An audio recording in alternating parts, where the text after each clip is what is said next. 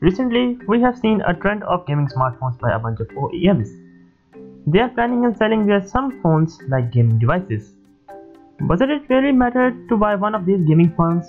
Or should you just buy a simple flagship? And why companies are making these gaming phones?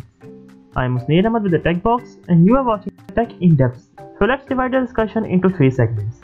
Let's start with the performance. Companies want you to believe that the gaming smartphones are more powerful than a smartphone. They are more like portable gaming solutions. They advertise that Razer phone Blackshark and ROG phone share the same philosophy. But actually they are still powered by ARM processors. These same SoCs that power other regular smartphones. ROG phone, ROG phone has overclocked CPU and Razer phone has a bigger battery than both iPhone or Galaxy S9, which are considered the best smartphones in the market and the Razer phone has front-firing speakers which are not easy to cover with hands like other smartphones. Number 2. Aesthetics I'll try to keep this simple as far as possible. Consider we have a non-gaming smartphone and we have a gaming smartphone. The latter will look more like a gamer because it's got angular design and beefy RGB lighting. Sounds familiar? These gaming devices are widely associated with RGB and angular design. And that's the case with these phones. They look beefy, angular and they are associated with RGB colors.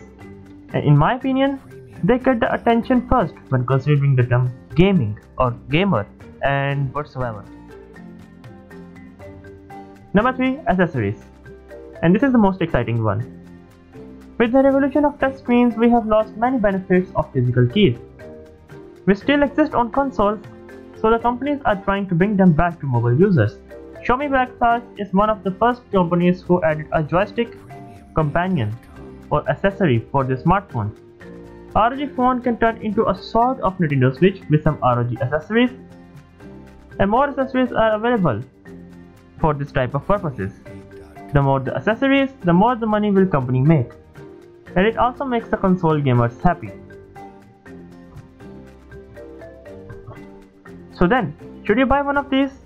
Well, choice is yours. If you think you are a heavy gamer and give great importance to RGBs and physical controls, and that kind of gamer stuff, then they can be your next pick.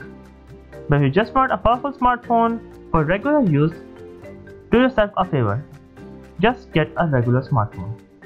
And that's all for this video. If you enjoyed it, give it a like and don't forget to share your point of views about these gaming smartphones in the comment section below. I love to read the tech analysis. I love to read your tech analysis in the comments. You can also follow us on social media. I'll see you in the next video.